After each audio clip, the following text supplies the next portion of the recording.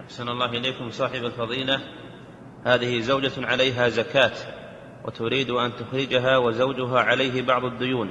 هل لها أن تعطيه من زكاة من الزكاة التي عليها؟ هذه مسألة خلافية عند أهل العلم. هل للمرأة أن تعطي زكاتها لزوجها أو لا؟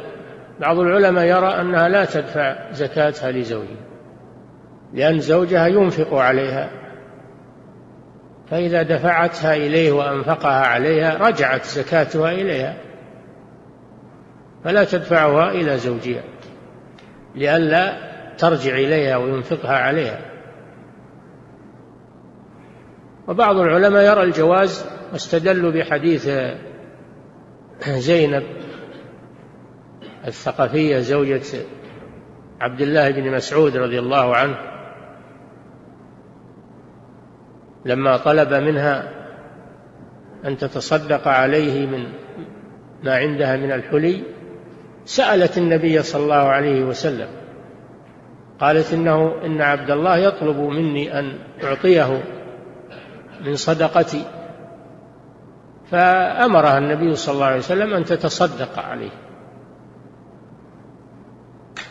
أمرها أن تتصدق عليه وأن تعطيه من صدقتها. قالوا والظاهر أن هذا زكاة. ولكن الصحيح أن ما هي بزكاة إن هذه صدقة تطوع. إنها صدقة تطوع هذا هو الظاهر. لأن